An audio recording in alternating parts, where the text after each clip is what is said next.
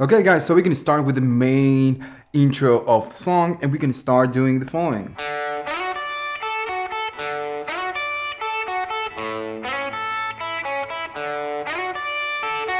We will start doing that. So we're gonna start playing the open string on the D string, the open D string. As soon as we do that, we need to go to the 11th fret, right, on the G string, right? We, uh, we strike the open string and we slide to the 11. And then what we need to do, we need to do a bar right here on the 10th of the first, the E string and the B string. And as soon as we do the bar, we strike the first, we strike the second, and then we need to go to 11th of the G string and back to the 10th of the B string. That's the movement. And then we just repeat the same motion twice, right?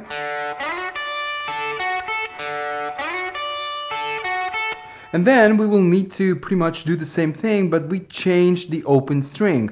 We strike the open A string, and this time we change positions and we go and we do a slide to the sixth of the of the E of the G of the G string. Sorry.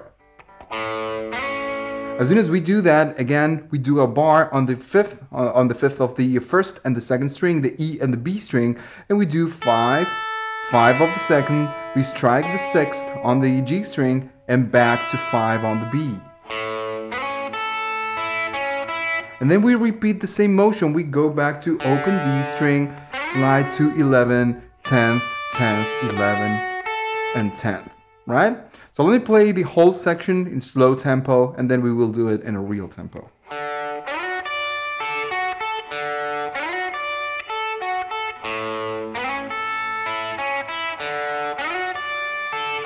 One more time.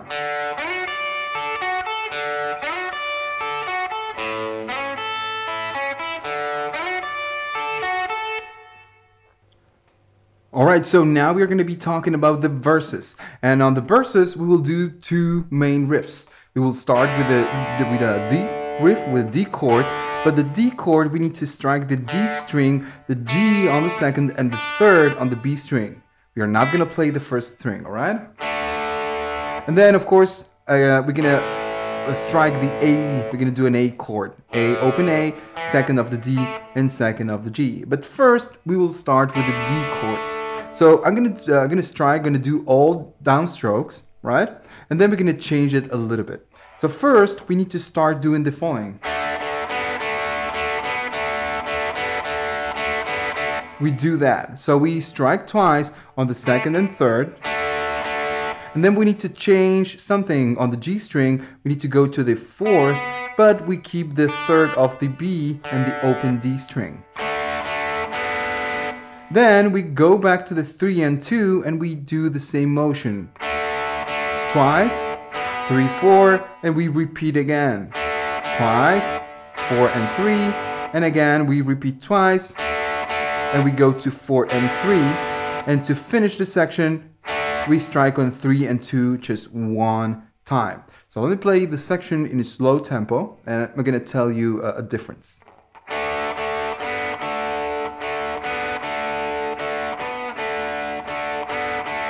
So the first time when I'm starting, I'm striking twice the 3 and the 2, and then I go to the 3 and the 4. Now the next time when we strike 3 and 2, the first one, it's longer, it's a little bit longer.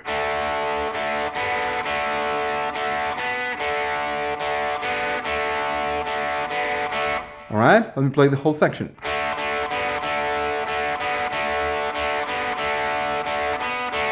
Right, so I'm doing all downstrokes. What you can do, you can uh, play it on a different way. You can do that. You can strike. What I'm doing, I'm striking. Doing an, uh, when I when I start the uh, twice on the three and the two, I do a downstroke, then an upstroke, and I go downstroke on three and four. Right? Now the next uh, sections, when we need to strike twice on the 3 and 2 and white 1 on the 3 and 4, I do two upstrokes, right? And then I do a downstroke when I go to 3 and 4. Let me show you. Let's go one more time, from the beginning.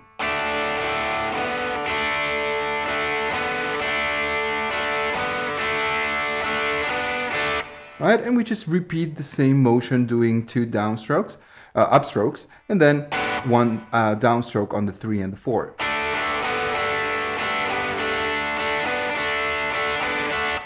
And remember that the last time uh, we just gonna be uh, striking on the three and the two and the open D just one time. Then of course we need to change chords. We need to go to the second part of the chorus, which is an A chord. Uh, A chord. So we strike again. We do pretty much the same thing. I'm gonna do all downstrokes. I we strike twice on the A on the on the A chord, and then we need to change positions. And on the D string, we go to the fourth position, right? We do that. Then we go back to the A string, we strike it twice again, and we go back again, and now the things are gonna change a little bit. We go to four and two, and then back to two and two, four and two again, and back to two and two. Let me show you in a slow tempo so you can get it. That's the movement.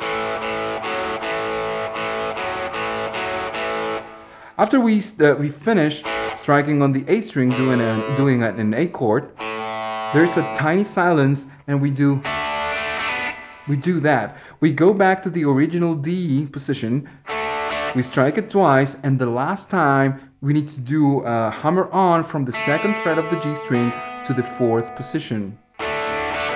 We do that. And you can just uh, use the G string and do the hammer on, or you can strike uh, all the three strings and do the hammer on. Let me show you again slow tempo.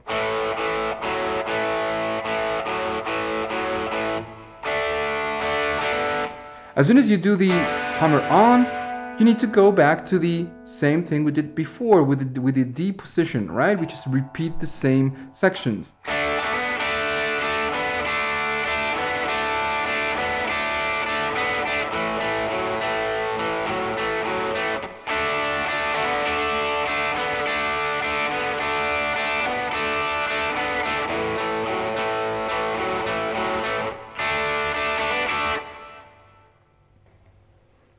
Alright, so since we know the intro and we know the verses, we need to learn the chorus. So the chorus is going to be real simple. We do a G position, a D position, and an A position. And we're going to do kind of a bluesy movement.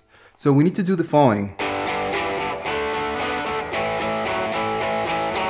That's gonna that's what we're gonna be doing on the first round of the chorus. So we go to the G string and we start playing only the sixth and the A string, all right? The E and the A string. And we go to third and fifth. So I'm gonna do all downstrokes. You can change that if you wish. So we do two downstrokes on three and five. And I would advise to use these two fingers. Because if you use this, uh, this two, uh, you need to go then to the seventh and it's gonna be really hard, you know? So these ones are the best for, for this kind of things. So we do two downstrokes and then we need to change and we go to seven on the on the fifth and three on the sixth, right? And we strike just one time. And then we go back to the original position, three and five, and we strike just one time. Then we change positions, but we follow the same pattern. But we go to the D position. We go to fifth and seven on the A and the D, and we repeat the same thing again. Sorry, let's go again. So we go back again. Then we change position again and we go to the A position and we go twice and now things are going to change a little bit. We go twice on, on fifth and seventh. We go to nine and five and we strike one time. And then when we go to five and seven, we're going to strike five and seven, but we're going to strike it three times. Notice I did. Right, so we need to do that three times. Then we go back to nine and fifth, and we go back to 7 and 5. Let me show you in a slow tempo. Right, let's uh, do the, uh, the entire uh, first section again.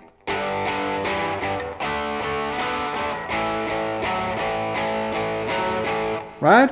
So that's the first round. We will have two rounds. On the first one, we do this. The second one, we will follow the same patterns, but we're gonna do something else. We're gonna start the same way on the G, we're gonna follow on the same way on the D, but when we go to the A position, to the A, we will do something else. Well, what we do, we start twice on the 7th and 5th, we go to 9 and 5th, one time, and the next thing we will do, we strike three times, we strike 9 and 5th, three times, 9 and 5th, three times, 9 and 5th, and we finish one time on the 5th and the 7th, right? Let's go back again.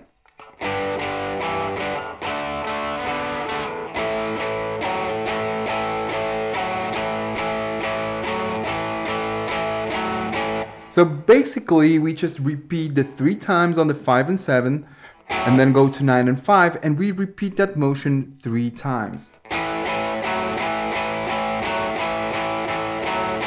Right? And when we finish, uh, after going 9 and 5th, we go back to the 7 and 5 and we strike just one time and then we just go back to the verses. Let's go back again, the entire section.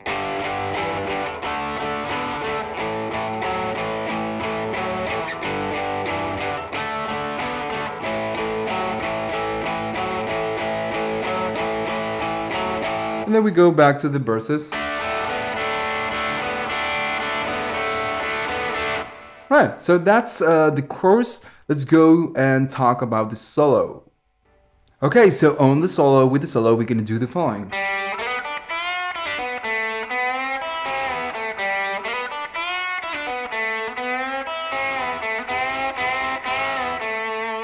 We will do that. So we're gonna start on the open G string. We strike the open G string, and as soon as we do that, we go to the second position of the G string, we strike it, and we do a slide to the fourth position. As soon as we do that, we go and we strike the third of the second position. I'm sorry, the second string. And as soon as we are done with the third position, we go to the fifth, and what, we'll, what we will need to do is to strike the fifth, do a bend, and when we are on the higher part of the bend, we strike it again and we do a release. As soon as we are done with the release, we need to do a pull off from 5th to 3rd on the B string. And again, as soon as we do that, we go to the 4th of the G string and 2nd of the G string. Let's go again.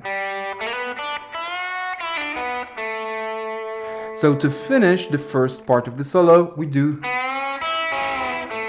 we do that. We go to the fourth of the G string, and when we strike it, we do a bend, and we need to let the bend ring. Then, with the pinky, you go to the fifth position of the uh, of the B string.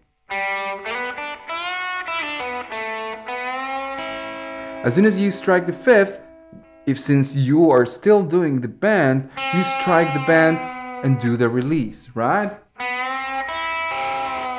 And as soon as you release, you go to second of the uh, G string.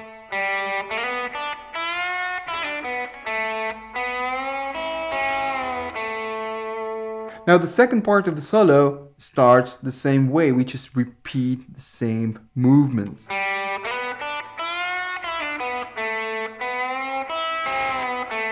Now the difference is that we do not start again. We don't go, we are not going to go to the open G string. When we finish on the second of the uh, G string, we go back to 4 and 5th and we do we do that motion. We go to 4 and 5th. We strike both strings at the same time. So we do a bend on the 4th, right? We strike both at the same time, but we do a bend on the 4th position. As soon as we do that, we kind of uh, mute the strings, we go back to the original position and we strike and do the same thing again. Bend again. Let's go again. Oh, sorry. And the last time we do that, we strike both strings at the same time, we do the bend, we do the release, and we finish on the second of the uh, G string. Now, what you can do after you do the release, you can do a pull off, right? That's it's up to you. You can do that just striking the second fret. So let's go with the entire solo, slow tempo.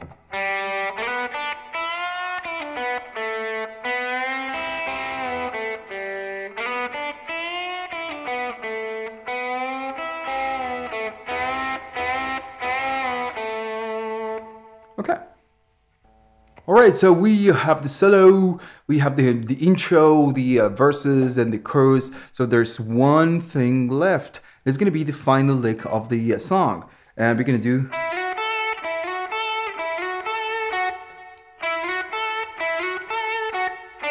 So we need to do that, real simple. We go to the third string, to the G string, we strike on the ninth, and we do a slide to the 11th position, right? Just a slide to 11. And as soon as we do that, we go to the 10th of the B string. And we're gonna repeat the same motion three times. And as soon as we do that, we finish with the three times, we finish on the 11th of the G string. So the next section, it's pretty much the same thing. We just repeat the same motion twice, but then after finishing on the 11, we finish on the 7th of the G string, right? Sounds, sounds right. So let's go with the entire section again. And then